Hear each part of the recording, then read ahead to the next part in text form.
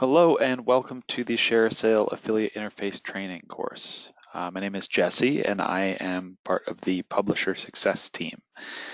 Uh, in this video, we will discuss how to grab links and create custom links. I'll go slow, but if you have any questions, uh, please feel free to reach out to our team at shareasale at shareasale.com. That's shareasale at shareasale.com.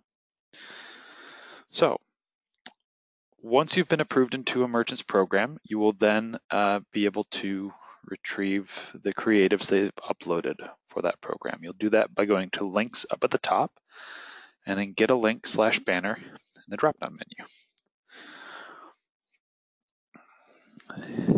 Here you will be able to do a keyword search or uh, choose a merchant by name On this page, you will see up in the upper right here where you'll be able to toggle between different merchant programs as well.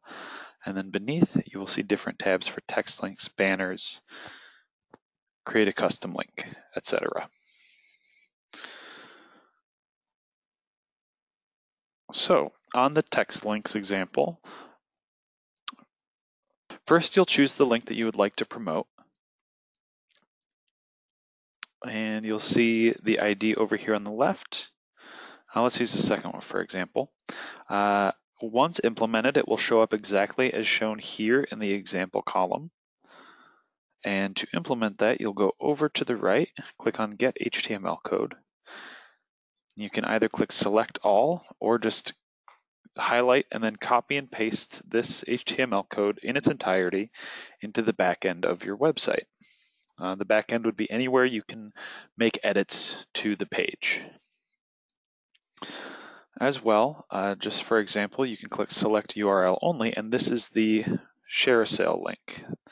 Uh, this is the tracking link that when clicked will uh, place a tracking cookie in the customer's browser before taking them to the merchant's website. You can always tell that this link is yours because it will have your user ID right here the merchant's ID right here, and the banner ID right here.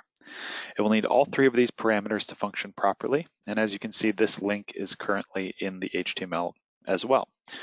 Now, similarly with banners, you will see the banners as uh, provided by the merchant.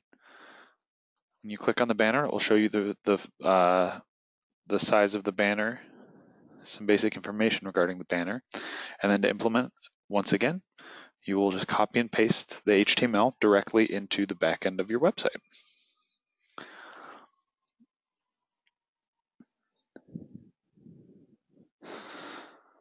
Next, to create a custom link, you'll go over to the Custom Links tab. Now, this tool is used to create a ShareASale link out of any page on the merchant's website. All you'll need to do is copy and paste the URL the page that you're looking to link to into this bar here, and then click Create a Custom Link.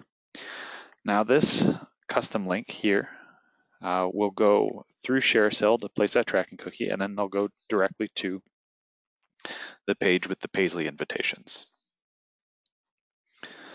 Uh, as well, you can click Get Short Link, and this will give you a shortened ShareASale link that is perfect for social media, Instagram, Twitter, places where you have a limited amount of characters. As well, once the custom link has been created, you can edit it at any time by going over here to the right. You can edit the destination URL as well as the AffTrack value. AffTrack is a uh, affiliate generated parameter that you can add to the link uh, most commonly used for A-B testing. So say you wanted to use the same link on both your Twitter and your Instagram, you could add different parameters to each link, make two different versions of the link, and then those parameters would show up in your reporting to let you know which page is performing better. Uh, just make sure that you are using only alphanumeric characters, no special characters that will confuse the browser. Thank you. Uh, once again, uh, if you have any questions regarding getting a link or creating a custom link, uh, please email us at shareasale at shareasale.com.